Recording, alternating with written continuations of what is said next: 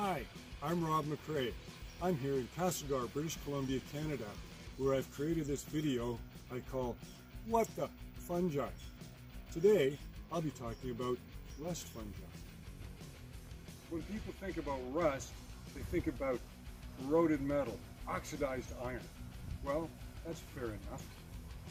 If there's a group of fungi, the rust fungi, named after rusted iron because at some stage in their life cycle, they're rusty orange. Hair rust forms characteristic rusty orange leaf spots. There's a Saskatoon berry bush.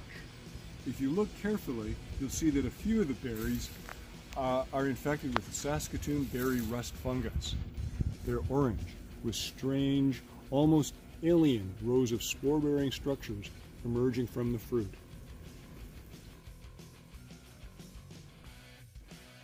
Black hawthorn berries are parasitized by a rust fungus that produces spore-bearing structures similar to those on Saskatoon berries. Here's some normal berries, and look at the rust fungi. Lodgepole pine is common in BC. It's affected by a rust fungus that causes growths or galls on tree branches. The galls can be tennis ball sized or larger.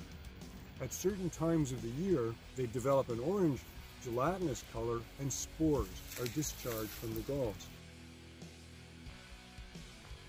This is all very cool for someone like me who's a little nerdy about fungi. You may be starting to wonder, where's this all going?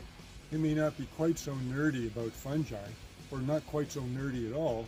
You may be asking yourself, is there some bigger, more universal message we can learn from the rust fungi? Well, the British are a nation of tea drinkers, while the rest of Europe is a land of coffee drinkers because of a rust fungus. In the days of the Empire, the British tried growing coffee in Ceylon, but the experiment was a total flop. Their crop was wiped out by coffee rust, which led to the British switching to tea because there was no place in the British Empire where coffee could be grown. To this day, coffee is grown at higher elevations where it cannot be reached by coffee rust spores. Well, that's an interesting historical factoid. It is not a universal lesson for humanity.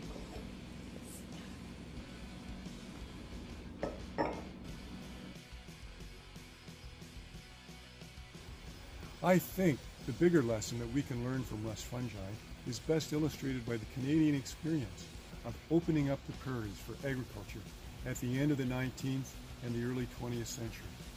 At that time, the Canadian government wanted to settle the prairies through the introduction of wheat farming.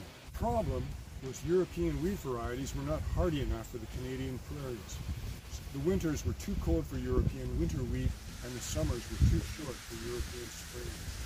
And European wheat varieties had little resistance to wheat stem and leaf rust fungi. The Canadian government, undeterred, invested in the new science of plant breeding.